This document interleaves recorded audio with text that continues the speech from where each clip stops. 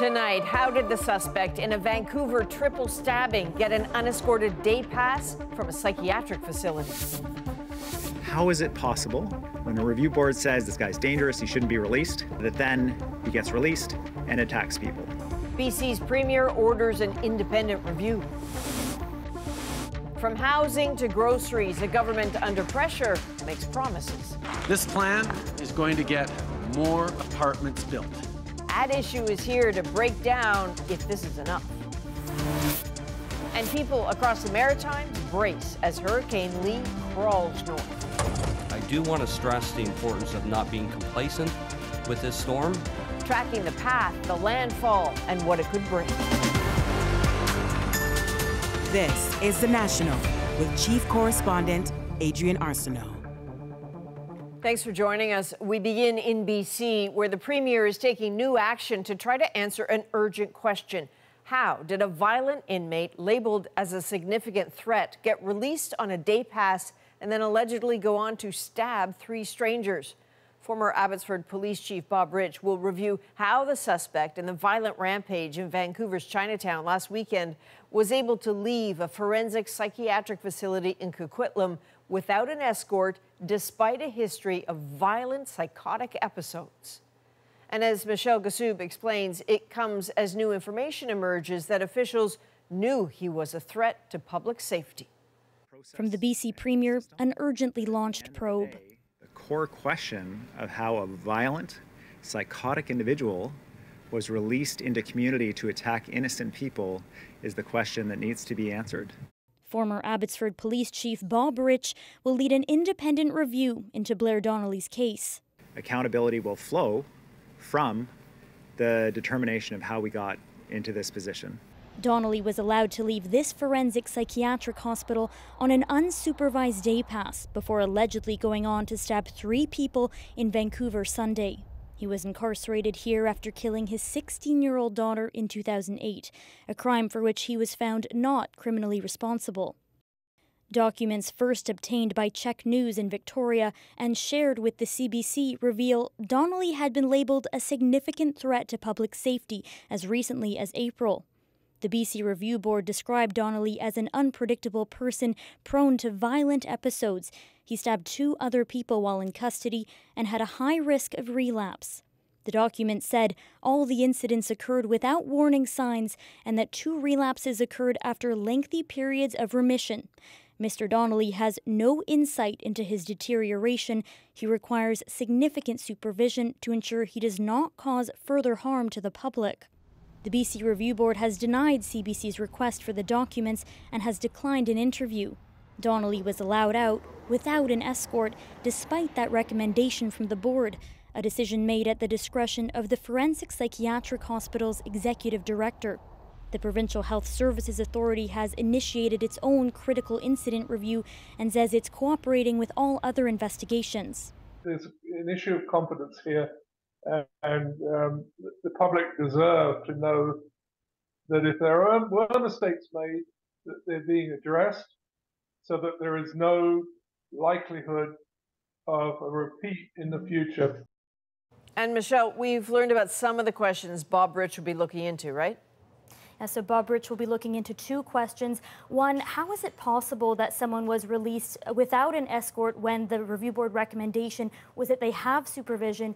And two, are there other people out there that fit this profile who do have day passes? Now, uh, Rich's review will start right away. Eby says he will be given access to all the people and documents needed for the investigation, and the top priority will be public safety. All right, Michelle Ghoussoub in Vancouver. Turning now to a pressing issue for so many Canadians the cost of living. The federal government says it has a new plan to tackle the crisis from housing to grocery prices. But as Ashley Burke shows us, some are asking why it took so long.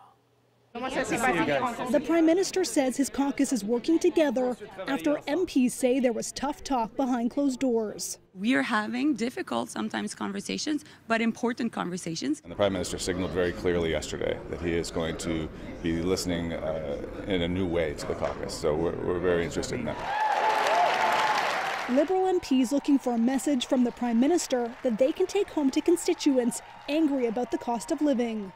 This is about the people that I've met across the country. It's about the people our, our, our MPs have spent the summer with, talking with, who are worried uh, about paying rent, about finding an apartment, about being able to buy a home. In an attempt to show they'll fight for Canadians, Trudeau and his ministers announcing the government will force big grocery stores turning big profits to stabilize prices.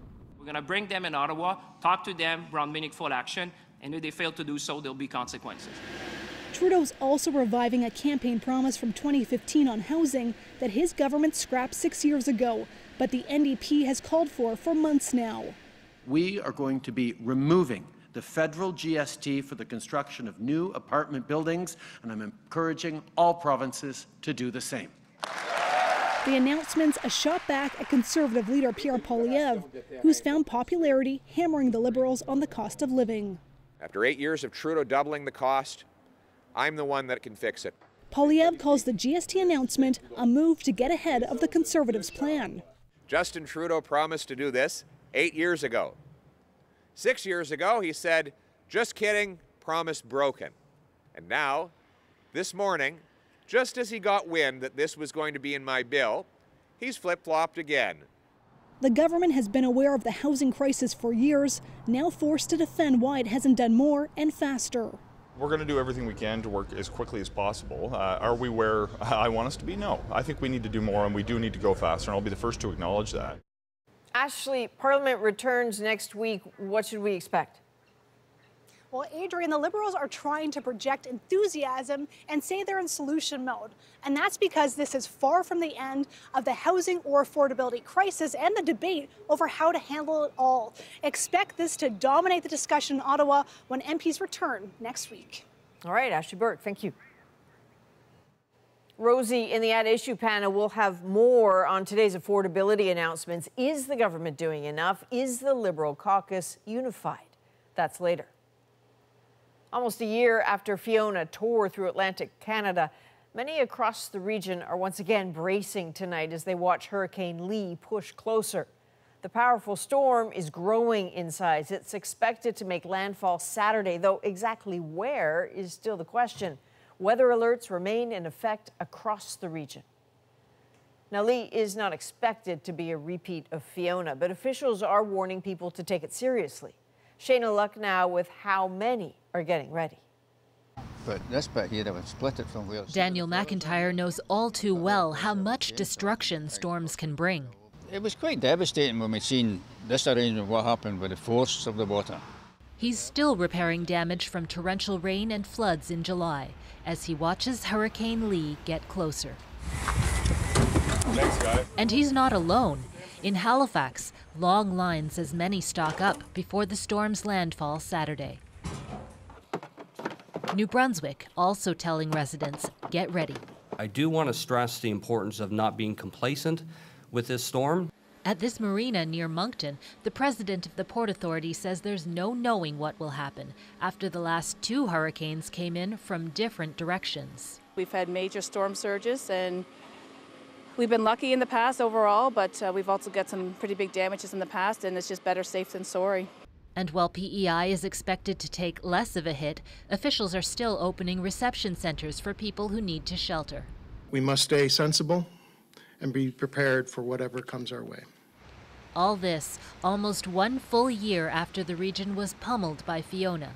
While memories of that disaster are still fresh, Lee is not expected to bring the same devastation. But in terms of intensity, uh, you know, nothing like um, like we saw with uh, with Fiona last year. Back in Bedford, Daniel McIntyre says he'll be ready. We've had storms here before. I mean, it's Nova Scotia you're in, so we'll see what comes from it knowing that whatever happens, someone will have to pick up the pieces after. Shaina Lux, CBC News, Halifax. Meteorologist Ryan Snoddon is back with us tonight from Halifax. So, Ryan, can you take us through that detailed forecast just as Lee closes in? Yeah, still a category one storm, Adrienne, and moving northward now at a pretty good clip. It will continue to weaken over the next 24 hours, but we are expecting it to move into the region as a category one storm or a very strong tropical storm, transitioning to a post tropical storm, which means the wind field spreads out and really will make its effects known across the region Saturday into Sunday. Okay, so we know the storm is not expected to hit with, you know, Fiona's force, but it does appear to be bringing some potential dangers, right? Like strong winds, those really strong waves. Absolutely, especially in the southwest of Nova Scotia and New Brunswick, closest to Lee's track. This is where we have the greatest likelihood of gusts exceeding 90 kilometers per hour. This is where outages look the most likely and possible damage, especially along the coast where we could see gusts up to 120. Also keeping an eye on the surge, this big push of water that will come with this storm. Less concerned tonight about the Bay of Fundy, but the Canadian Hurricane Center mentioning specifically Shelburne, Liverpool to Halifax. High tide time Saturday morning and again Saturday evening. This big wall of water will push a lot of water inland. Could see sea levels pushing one meter above high tide, both in the morning and the afternoon and evening. It's something to keep an eye on. Adrienne. All right, we'll all be watching meteorologist Ryan Snoddon in Halifax. Now, in Saint John, New Brunswick, there's a more immediate concern. The entire city has been asked to shelter in place to avoid a cloud of hazardous smoke spewing from a stubborn fire at a scrapyard. And as Harry Forestell explains, for some residents, the facility was already notorious. An alarming wake up call for residents of West Saint John. A 30 foot high inferno of shredded automobiles, sending flames billowing into the sky, firefighters struggling just to contain the blaze. And just across the street, some very worried neighbors. I've never seen anything like this before. It's like it's like a volcano. Look up in the sky, like that is amazing to see. Obviously, this is a concern to people with the chemicals that that are involved, the plastics and uh, rubber products mm-hmm. that are involved in this, and it sounds like there's many explosions. Barely a kilometer from uptown Saint John, where thick drifting smoke forced three schools to close for the day and prompted this warning from local health authorities.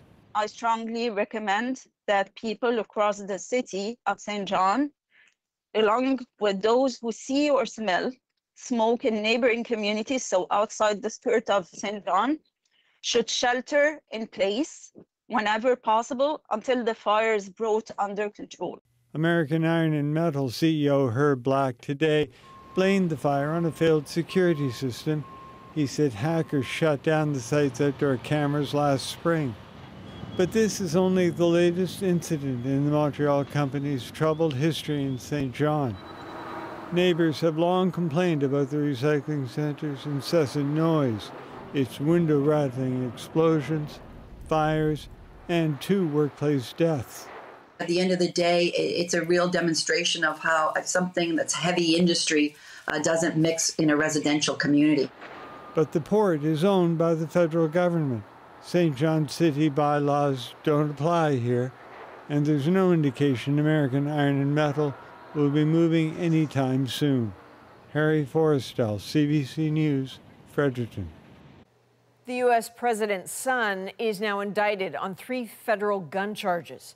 They're all tied to allegations that Hunter Biden lied about his illegal drug use on federal forms while buying a gun back in 2018. This indictment comes weeks after the collapse of a plea deal that would have avoided a criminal trial. If convicted, Hunter Biden faces up to 25 years in prison. Now to the results of a NASA investigation into everyone's favorite topic, UFOs.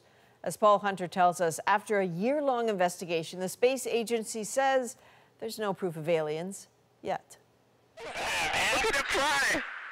They are among planet Earth's more tantalizing mysteries. Objects seen zipping through the sky so quickly, erratically, so otherworldly. Could they, in fact, be alien spacecraft?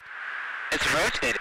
A year ago, NASA opened a new study on unidentified anomalous phenomena, or UAPs, what they used to call UFOs. Now, some results. The NASA independent study team did not find any evidence that UAP have an extraterrestrial origin. But we don't know what these UAP are. It's that last part that's led NASA to announce it's stepping up its game. Because if they don't know what they are, what if they really did come from way out there? NASA's now hired a director of UAP research and wants the public to weigh in with any evidence or sightings, any data it can get. Shift the conversation about UAP from sensationalism to science. I think something is happening. After all, from Hollywood films through the decades to this week's strange, possibly dubious claim of discovered alien bodies in Mexico, it's clear Earthlings like to at least dream that we're not alone. Do I believe there's life in a universe that is so vast that it's hard for me to comprehend how big it is? My personal answer is yes. And so, says NASA, next time you look up, keep an eye out. And if you see something near or far, let them know. Paul Hunter, CBC News, Washington. Romania is extending flight restrictions along its border with Ukraine. This after more debris suspected to be from Russian drones was discovered on its soil. This all comes as Russia intensifies attacks on Ukraine's nearby ports. Briar Stewart now with the calls for calm. Near the banks of the Danube River in Romania, soldiers are building air raid shelters because just a few hundred meters away, Ukrainian ports are now frequently under attack. Russia stepped up its strikes in this area after pulling out of the Black Sea grain deal in July. Since then, Romania, a NATO country, has found fragments from two Russian drones on its land, and it's investigating more debris found Wednesday. We're scared, said this woman. Last evening, they struck again. There are a lot of bombings. Villagers are now getting alerts to their phones warning about the risk, but officials are also appealing for calm. Nobody attacked us and nobody will attack us, said Romania's prime minister. There have been fears that Russia's war could quickly spill into the rest of Europe if a NATO member came under attack. In November, two people were killed by a missile in Poland, but NATO officials believe it was a stray from Ukraine's air defense. Then, like now, the message is that these incidents don't warrant a bigger response. It would have to be a deliberate, concerted effort involving a large number of military forces uh, poised against NATO territory in a way that's unambiguous. I don't think Russia has the interest to do so. But Russia's intentions may be little comfort to those navigating boats along the Danube, which is more congested as Ukraine races to export its grain along this route. There were some stoppages during the uh, nights when uh, the Russian Federation bombed that uh, Ukrainian uh, facilities. And along the river and the shore, it appears that the war is that much closer. Briar Stewart, CBC News, London. A grandmother is speaking out after her child and grandchild died of an overdose. She was walking independently, but not very steady. An addiction that killed a family, why help was hard to come by.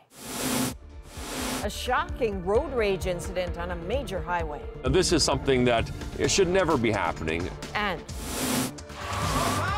French films are making a splash at the box office, but English audiences have yet to take notice. It's like there's no conversation between French Canada and English Canada.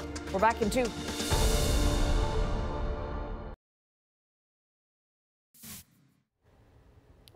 There's a preposterous scene. Two people wrestling on the 401 highway in Toronto, smack in the middle of the evening rush hour Tuesday. Police say this was a matter of road rage. It was enough for them to stop and then ultimately get out of their vehicles. And as you can see in those videos, uh, rolling around the highway, uh, in, incredible. Uh, I'm just speechless. Yeah, don't do that. The fight essentially shut down the highway. By the time police got there, the two men were gone, but they were able to eventually speak with one of them. While police say the incident was unacceptable, they let the driver off with a caution. A new report shows that deaths from drugs and alcohol in Ontario surged dramatically during the pandemic. In 2018, drugs and alcohol were involved in the deaths of more than 1,500 people. In 2021, that number had nearly doubled to nearly 2,900. Opioids drove that trend. And even when deaths involved other drugs or alcohol, 85% of the victims were mixing them with opioids. Every one of these deaths in Ontario and across the country represents a tragic story. And as Sam Sampson brings us one from Saskatoon of two parents and their toddler, all of them dead within the space of six months from overdoses, and of their surviving family hoping to save others before it's too late. So, what I have is a copy of the funeral cards. It's all that's left of Ann Doig's son and his family after suspected overdoses. Madison died first on New Year's Day. In February, the father, John Cowan, then in June, the mother, Berkeley Donkervoort. She was walking independently, but not very steady. Doig says coroner reports show Madison died with fentanyl, carfentanil, and benzodiazepines in her stomach. The parent systems contained a similar mix of drugs. Doig says Madison's parents used illicit drugs before, during, and after the pregnancy. She called police and social services several times, concerned for Madison's safety. It's a dreadful thing to think, but as I say, absent a very powerful intervention and sustained over a long period of time, that little girl's hope of anything resembling a normal life was, was fraught. This specialist helped create a support network in Toronto for mothers with addictions. He says it takes the housing sector, healthcare, child protection, and the legal system all working to keep families together. Just because that person has an active addiction, it doesn't mean that they have to lose custody over that child forever. Mm-hmm. But what it can mean is that there are other people who are brought in place to make sure that that child is raised safely, is loved, is hugged. Doig and other families want a safe drug supply for parents with substance use disorder. The Saskatchewan government says it's instead focusing on addiction recovery. Minister of Social Services. Susan Donkervoort is Berkeley's mom and Madison's other grandma. She wishes the baby was removed from the home. She tried calling authorities and politicians for help. All I can do is maybe try and help another family not have to go through what my family's all just been through. This is the closest she got to meeting Madison on what would have been the baby's second birthday. Sam Sampson, CBC News, Saskatoon.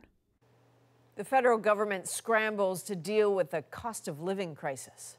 It's the right time to step up with uh, removing the federal GST. But will their new measures make any difference? Rosie's here with that issue.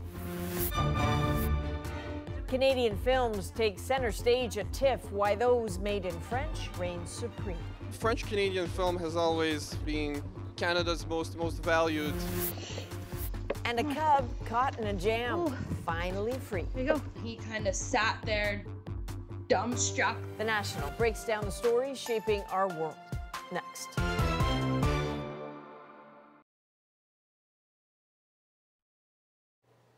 Amidst the premieres at this year's Toronto International Film Festival are several big French Canadian movies, a genre that has eclipsed the success of this country's English language movies. Eli Glasner looks at what's behind that success. Avec cette fille avec qui vous l'avez trompé. A suspected murderer on trial. Vous admettez qu'il était jaloux. No, I don't know. No. A conductor looking for harmony. And a drama set in Montreal's drag scene. Three very different films, but a sign of French language cinema that is a consistent commercial and critical success. The majority of films made in Canada are English language. But look at last year. French language films earned nearly $10 million, while their English counterparts earned 2 million. French Canadian film has always, from the kind of from the beginning, been Canada's most most valued um, cinematic export. Of course, part of what protects Quebec's film sector is language. Not having to worry about losing French fans to the likes of Tom Cruise helps, but the language barrier also retains talent. Because we don't speak English that well, like me, um, we cannot go anywhere else. But really, so everybody stays there, and we can create all together. And while movies from Quebec and France have distinct differences, Both enjoy an industry where the director truly calls the shots. I'm not forced to do something a way or another. They trust my process. And maybe that's why our films are, I don't know, there's a signature to them. Thank you. French filmmakers and stars say there's a missed opportunity for all Canadian filmmakers to be watching and learning from each other. I think that's something that we should uh, we should look look to to, to, to make a change because it's like there's no conversation between French Canada and English Canada in, in cinema. But at the festival, TIFF audiences are kickstarting the conversation. They're open to see new stuff and uh, even from director they don't know yet. As the new wave of French films takes center stage. Eli Glasner, CBC News, Toronto. Time to break down the news shaping our world. It's Thursday. Rosie's here with that issue. At issue this week, Canada's housing crisis. The country's on track to be short 3.5 million units by the end of the decade. After months of pressure to act, the Prime Minister announced measures to help Canadians with the cost of living, including cutting the GST on new rental builds. We realize it's the right time to step up with uh, removing the federal GST on uh, purpose-built uh, apartment buildings. The opposition says the government has not acted soon enough. A year and a half of paperwork and not a single house built since it was announced in the spring of 2022. Is the government doing enough to solve the housing crisis? I'm Rosemary Barton. To break it down this week, Chantal Hébert, Andrew Coyne, and Althia Raj. Good to see you all. Um, Chantal, let's start with you. You know, many of these things that were announced today had been previously discussed, um, or things that you know Jagmeet Singh or others had called for. What do you make of the timing of this? Well, uh, politically interesting. Uh, at the time when the polls are really turning south for the Liberals, uh, with the House about to come back. Uh, but I, the sound I most heard today as the Prime Minister was announcing the measures he was announcing was the sound of a rug being or trying to be pulled from under the feet of Pierre Poilievre.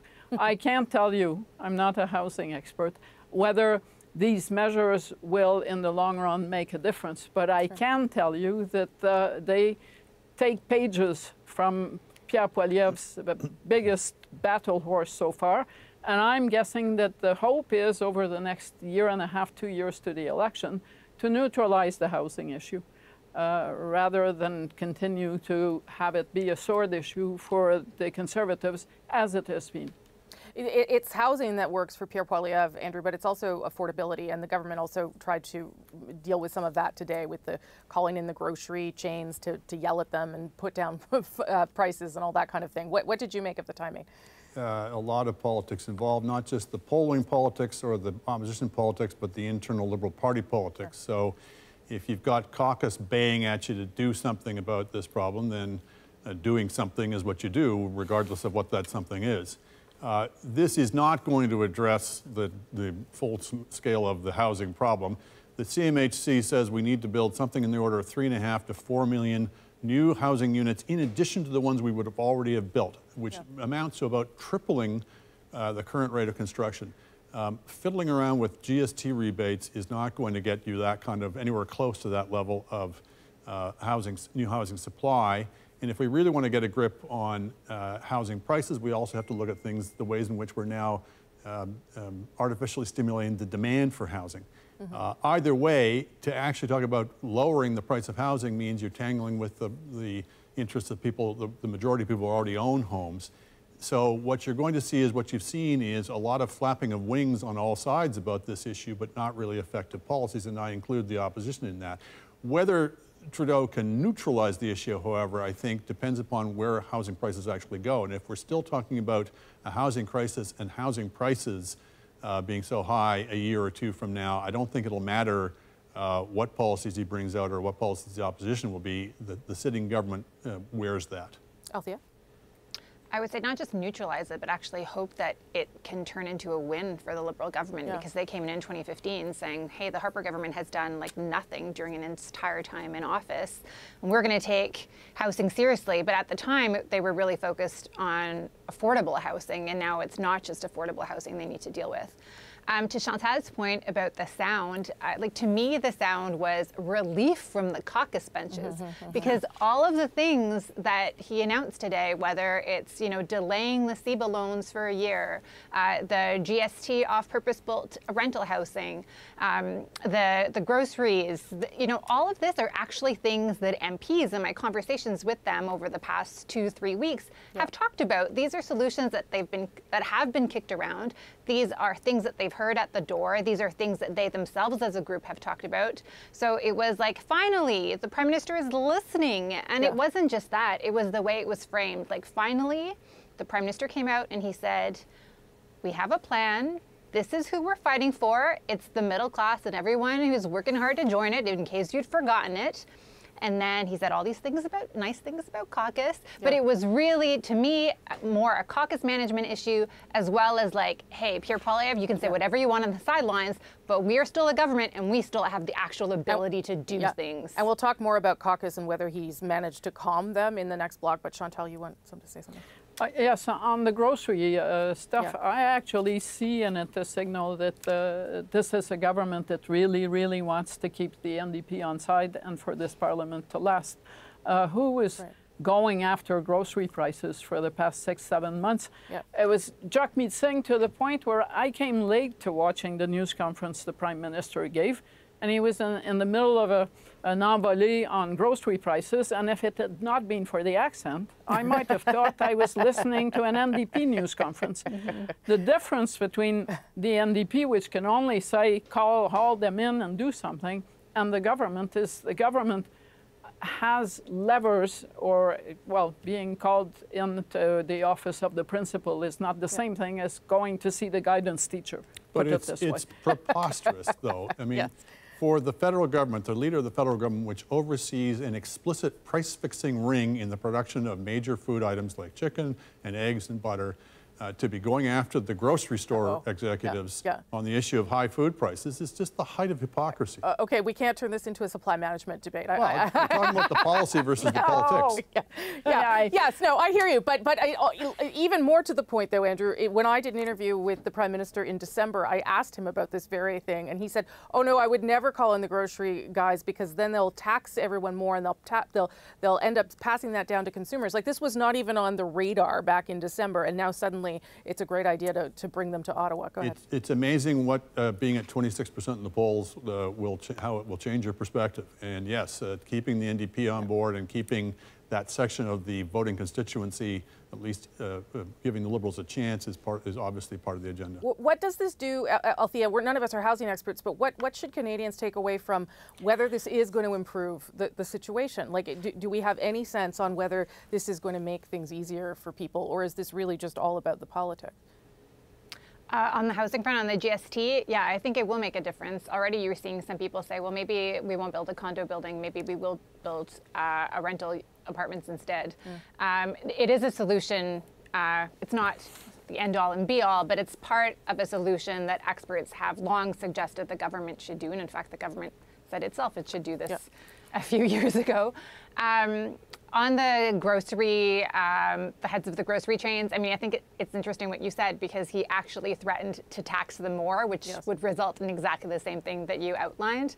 Um, I think what's important is that uh, the prime minister signaled that this is not just uh, one announcement as like this is supposed to be the answer to the problems. This is the beginning of several announcements on housing, and the housing minister has has told the public that in the federal economic update there will be a housing plan. So there will be there will be more. What does that look like? I don't know, but I think it is interesting that there is actual common ground between what Pierre Poilievre is talking about and what the federal government is is. talking about in terms of densification, NIMBYism, ending exclusionary zoning municipally.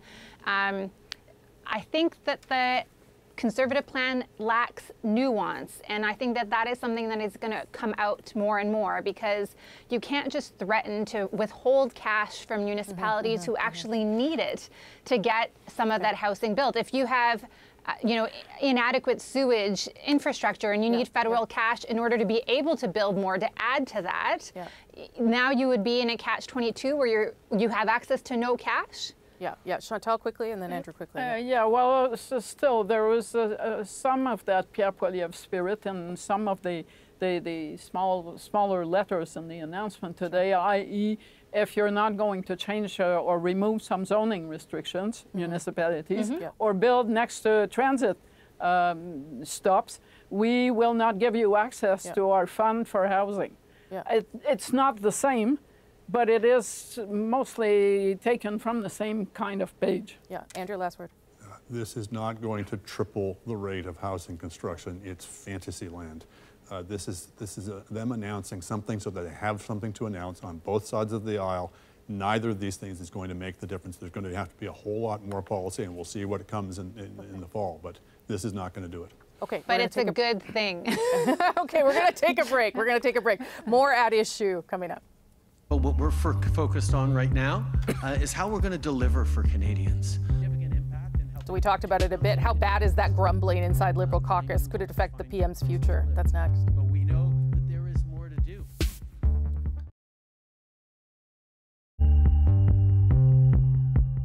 MPs have given Trudeau an earful behind closed doors, sharing concerns about the party's dismal showing in the polls and demanding a more forceful response to Pierre Poilievre.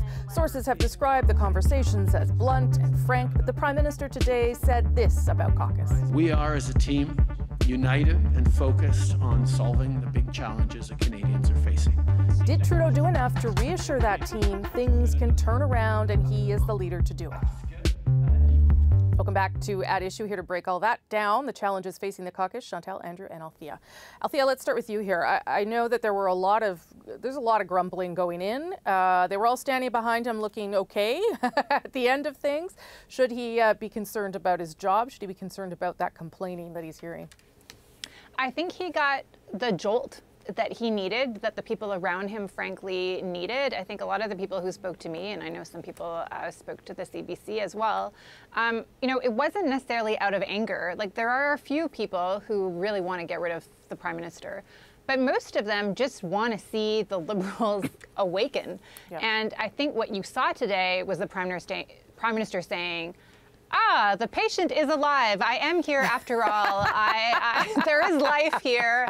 Um, don't, don't, write us off yet. And mm-hmm. that, to me, I think was the number one issue that caucus needed uh, yep. to hear. And I think that they did hear that. The other they, issue yeah. is. Yep. They needed to feel listened to and valued. And he, yeah. three times in his speech, he talked about the good work caucus was doing. And they needed to hear that because he doesn't maintain his relationship with caucus. Yeah. Um, he, you know, he's a people person for like the rest of us, the public watching this, but he is not. He's like an introvert internally, and my co- my colleague Susan Delacourt talks about this often. Yeah. But uh, you know, they're not feeling the love, and they needed to feel the love. Andrew. I thought he got off pretty lightly, frankly, considering where they're at in the polls. Uh, but they don't really have anybody else. They know that they owe their jobs to him, uh, and you know, when you usually when caucus is really feeling feisty and really threatening leader, they'll say things like he's getting very bad advice. It's time he replaced his you know principal advisors. Mm -hmm. uh, they, we didn't even hear much of that. Oh no, we, we, we do hear lots of that. Some behind Katie the scenes. Katie Telford is like number one. But, but behind the scenes, you did yes, you, you yeah. weren't seeing anybody going on the record saying it. So, uh, you know, I think it's a measure of how weak the caucus is in this party, how much it's leader dominated, that even when they are 15 points behind in the polls, mm. um, they just really don't have much of an alternative. Or is it because, Chantal, he can walk into the room and, and listen and convince people that, that, that everything's going to be okay? I mean, I don't know. Well, uh, there is some of that. He did yeah. get them elected, and uh, that uh, cuts you a bit of slack with caucus. But if there was a, a, a successor, a Paul Martin type, that polled a lot better uh, than the current prime minister, I think those uh, MPs would feel less uh, of a we like we, we still like Justin Trudeau mood, and they, they might be inclined. This is the party that showed Jean Chrétien the door or tried to show Jean Chrétien the door. Why? Because they believed they had Paul Martin. He would do better and he would treat those who felt left out better. Mm -hmm. There is no one like that standing in the shadows no, no. Of, uh, of Justin Trudeau. I also believe that many of the MPs, the, the message they mostly received, I think, today was the message that the government still has time Um, and you saw the prime minister said we're not having an election until 2025. Yeah. Well, I think if you do not see an improvement in the polls within four to six months, the, the, the discontent will resurface and probably resurface in a way that will be difficult to push back on. But, but at that point, Althia, you're sort of running out of time, right? I- i- If you're like, I don't know, in six months, you're not going to get rid of someone and start again, are you? I don't like. I, I, there, there's a there's a time management game that, that everyone is playing here too. It depends how bad it gets, I guess I, would suppose, yeah, say. yeah, yeah. Um, I would say it's not everybody who feels like they're a member of parliament because of Justin Trudeau. In fact, many of them feel that they are a member of parliament in spite of Justin Trudeau. uh, some of whom were elected in 2021 and 2019, and Sure. it wasn't that 2015 wave that brought them to Ottawa. And you know, you see that especially with MPs um, from rural areas who feel like the liberal agenda hasn't necessarily matched up with what the, their constituents are telling them.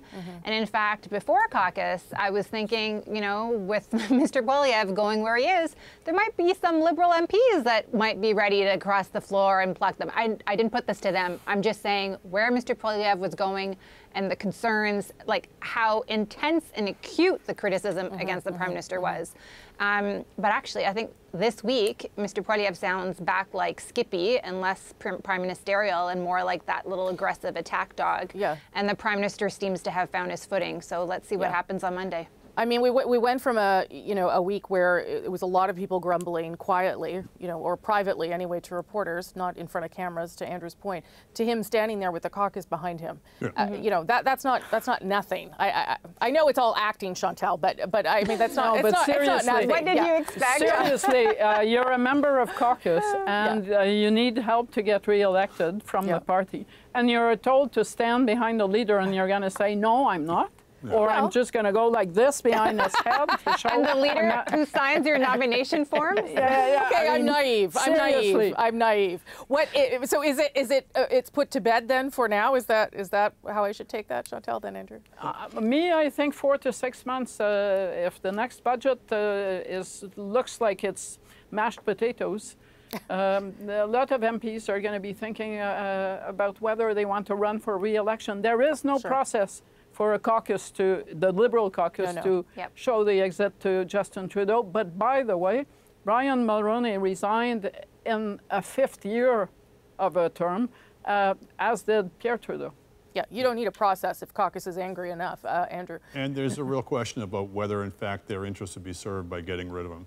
Uh, if you're going to go down to defeat, uh, there's an argument for saying better to go down under the old guy than under the new person, Yes. because then he wears it rather than the new person. If Brian Mulroney had led the Conservatives in 1993, they still would have lost and badly, but not as badly as they did under Kim Campbell. Um, and the, you know, the other thing is, is you know, there's, there's you, you- anytime you have a leadership race, you risk opening up new divisions within the party that, you, that the leader had previously been able to, to Yeah. cover over. Yeah. And you have to ask the question whether the new leader could do well in the sections of the country where they absolutely have to do well, namely Quebec. Okay, we'll leave it there. I'm sure we'll talk about all of this more as time goes on. Thank you. I'll send things now back to Adrienne in Toronto. Thank you, Rosie. Next, a bear cub in need of a little help. It wasn't really fear, just just knowing that I needed to do something and do it fast. How a passerby came to its aid in our moment.